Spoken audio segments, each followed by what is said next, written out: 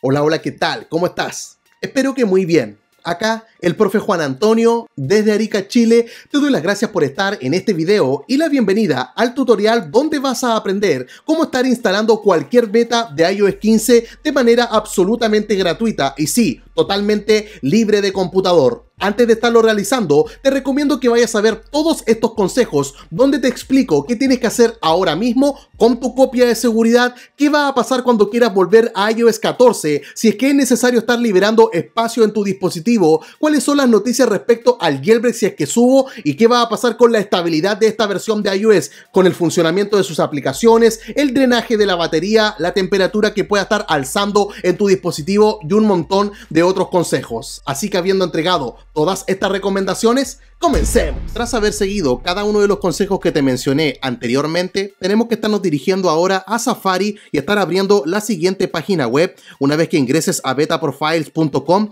tienes que estar buscando acá el enlace del perfil de iOS 15. Tienes que presionar simplemente en ese botón azul que dice instalar perfil y posteriormente te va a cargar otra página web y te va a estar arrojando este mensaje para estar descargando un perfil de configuración. Presionamos allí en permitir y a continuación nos aparece que el perfil se ha descargado y tenemos que estar abriendo nuestra aplicación de configuración. Así que le vamos a dar allí en cerrar y vamos a hacer tal cual aparecía allí. Nos vamos a dirigir a las configuraciones de nuestro dispositivo y si te das cuenta, debajo de nuestro nombre aparece allí perfil descargado. Así que vamos a ingresar, le vamos a dar arriba allí donde dicen instalar, colocamos el código con el cual desbloqueamos nuestro dispositivo. Otra vez tenemos que presionar arriba en instalar y otra vez en este botón de instalar. Si te das cuenta, aparece este mensaje que se va a reiniciar de manera obligatoria nuestro dispositivo. Eso quiere decir que se va a apagar y encender. Así que lo vamos a estar presionando y vamos a esperar a que se encienda. Una vez que lo haya hecho, vamos a ingresar la contraseña para estar desbloqueando nuestro dispositivo.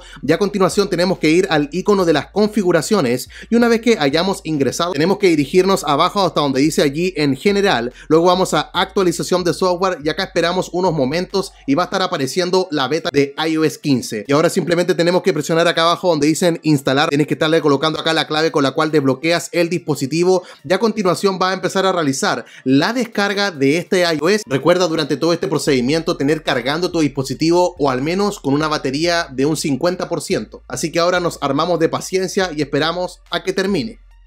Una vez que termine la descarga se va a habilitar el botón ahí de instalar ahora, así que lo vamos a estar presionando y ahora nos va a estar verificando la actualización. Debemos armarnos de paciencia en este paso y esperar porque a continuación es que el dispositivo se va a estar apagando y va a aparecer el logo de la manzana en pantalla con esta barra de progreso en la cual simplemente debemos esperar a que termine. Si vas en este paso vas por muy buen camino, así que esperamos.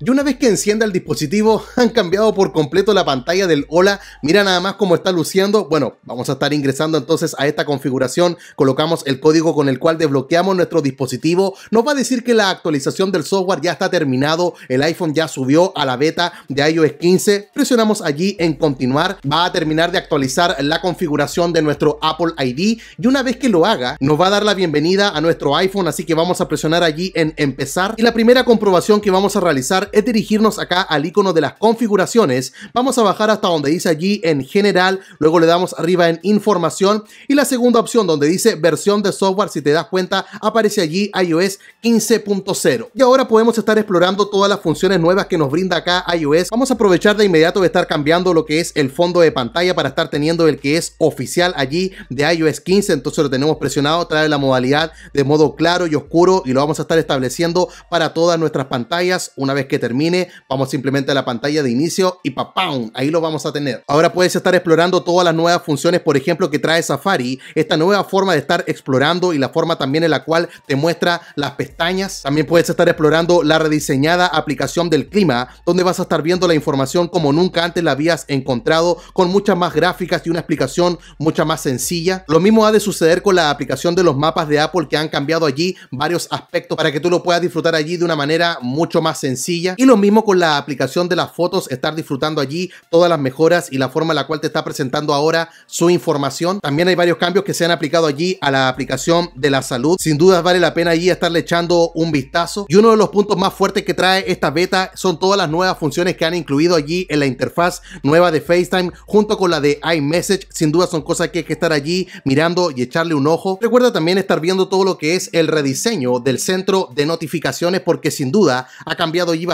entregando una interfaz absolutamente distinta a la que estábamos acostumbrados. También puedes revisar acá en el centro de control todo el enfoque que se le ha entregado a las notificaciones cuando tú simplemente quieres tener activado allí el modo de no molestar. Y por último, pero no menos importante, puedes ingresar acá a las configuraciones a la sección de privacidad y poner mucha atención a esta parte del rastreo, teniendo encendida esa función para que las aplicaciones te soliciten si es que tú permites que ellos estén rastreando tu información personal y si quieres llevar más adelante tu experiencia con todo lo que son las betas, te recomiendo que veas este icono que dice acá el feedback en el cual tú puedes ingresar y estar iniciando sesión con tu Apple ID y estarle diciendo a Apple todos los problemas que tú has estado teniendo en la beta para que ellos los mejoren en las próximas actualizaciones. Y eso sería todo por esta ocasión. Se despide ahora el profe Juan Antonio desde Erika, Chile. Te espero mañana con otro video. Chao, chao.